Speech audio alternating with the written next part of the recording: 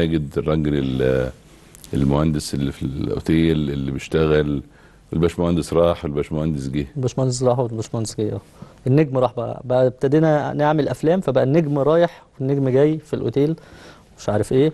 و أنت مثلت وأنت شغال مهندس. أنا عملت ورقة شفرة وكنت بشتغل في شرم الشيخ. كنت بنزل أجازات أصور وأرجع.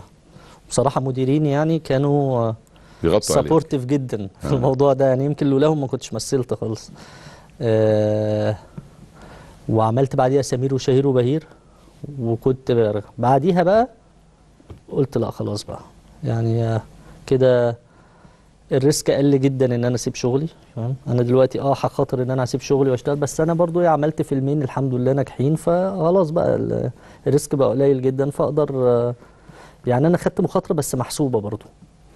بس ما سبتش كل التمثيل حاجة جه ورحت. إزاي يعني يعني واحد شغال مهندس وشغال لأن إحنا من الجامعة أصلا إحنا ابتدينا نعمل أفلام آه أنتوا مين؟ أنا وفهمي وشيكو كنا شلة من 11 واحد انت وفهمي شيكو تا- ز- زملاء من كام سنة؟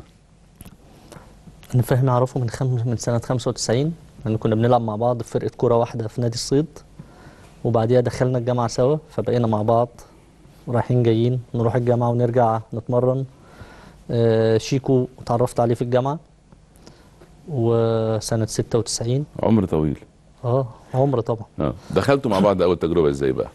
يعني حابب قعدنا ت- فترة أنت. كنت بتمثل في البيت مثلا؟ تقعد تقول أنا عايز اعمل عايز أ- ده إحنا كنا أنا عادي شايف نفسي أبقى ممثل إحنا كنا شلة عادي جدا 11 واحد. أو أكتر مش فاكر يعني كام و...